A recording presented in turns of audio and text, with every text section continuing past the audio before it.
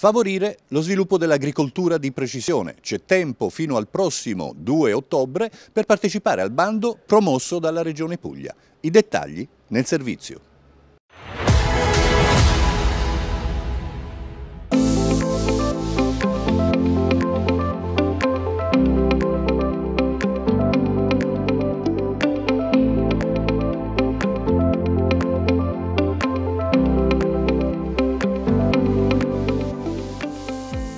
Pubblicato dalla Regione Puglia un avviso finalizzato al finanziamento di un progetto pilota della durata di 24 mesi per la promozione e lo sviluppo dell'agricoltura di precisione.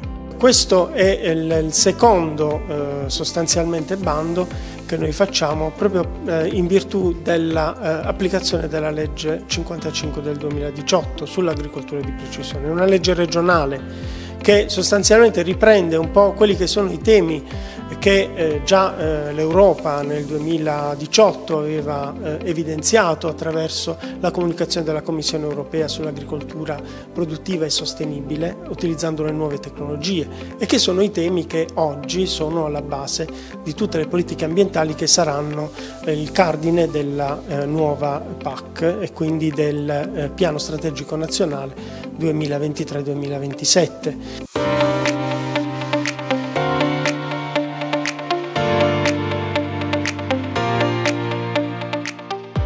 Un'opportunità per innovare il comparto unendo competenze e capacità.